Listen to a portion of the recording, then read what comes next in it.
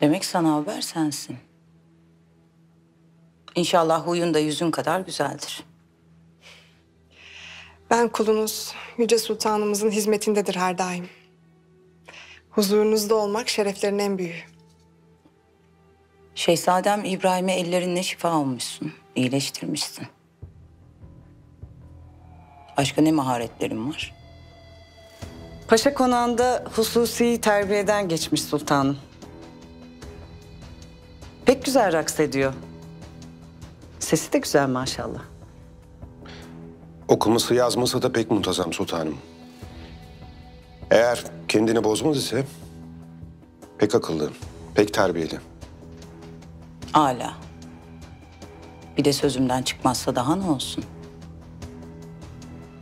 Geceye hazır edin. Hünkâroğlum hatunlardan yana pek talihsiz.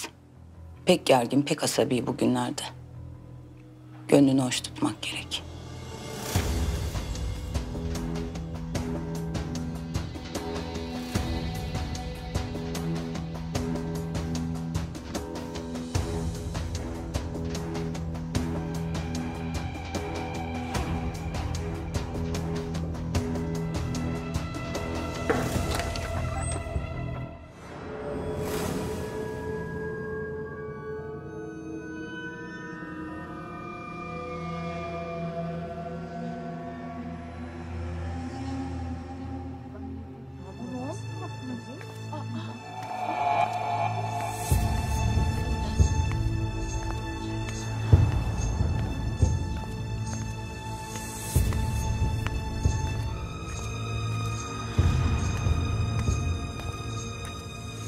Bir şey öğrenebildin mi?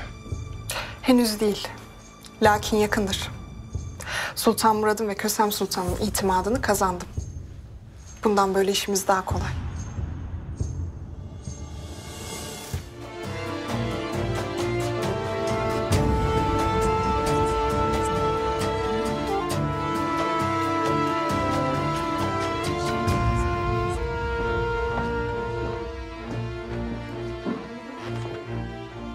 Vallahi talihli hatunsun vesselam.